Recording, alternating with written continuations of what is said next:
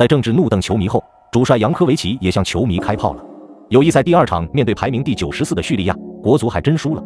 所谓的前八十真是纸糊的。赛后的质疑声来的也是相当猛烈，尤其是对扬科维奇重用严俊凌的问题，还在赛后采访中被提及。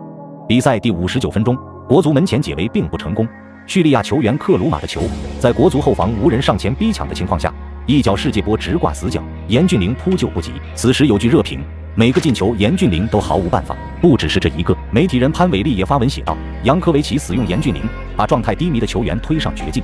于是乎，关于为何不使用王大雷的提问给到了杨科维奇。他回答道：“上次在大连，你们问我为什么换上王大雷，现在又问我为什么不换上他。今天在门将丢了个世界波的情况下，想让我换门将，那只能说每场都要换门将，只能说恭喜叙利亚打进世界波。那种球，严俊凌和王大雷两个人在那里都扑不到。”对于这样的回复，球迷显然不会买账，坦言最看不惯输球还无所谓的样子。说实话，相比较面对马来西亚这一场，面对叙利亚确实表现好多了。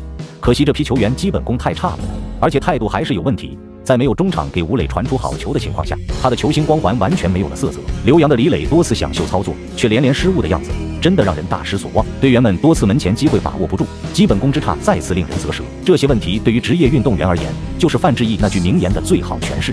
脸都不要脸。尤其是看着隔壁日本男足四比二战胜土耳其，如今的国足连对方的尾灯都看不到了，真的就只想挣挨骂的钱吗？